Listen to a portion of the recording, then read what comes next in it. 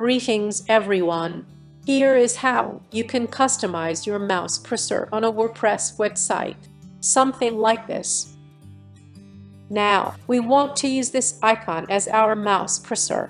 Make sure the size is 32 by 32 pixels. Let's upload it to WordPress. Log into your WordPress dashboard.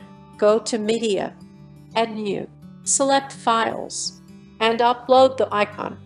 Click here. Always write the alternative text for SEO purposes. Now copy the file URL. Here is the code which can replace the mouse cursor icon on your WordPress site. Simply replace the icon URL here.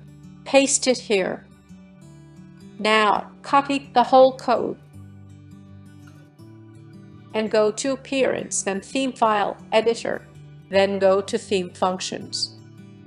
Scroll down and paste the code here.